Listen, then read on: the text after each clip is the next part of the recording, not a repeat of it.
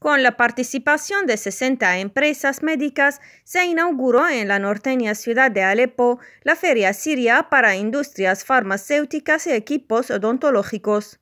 Wasim Nashed, director de la entidad organizadora del evento, declaró a Sana que se trata de la primera exposición médica especializada e incluyó dos secciones, la primera para equipos y suministros dentales y la segunda dedicada a las más recientes novedades de la industria farmacéutica.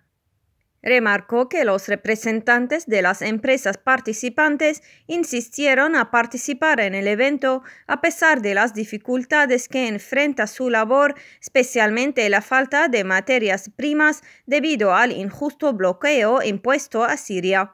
Destacó que el objetivo de la feria es mostrar el mérito del producto farmacéutico nacional y satisfacer las necesidades del mercado local.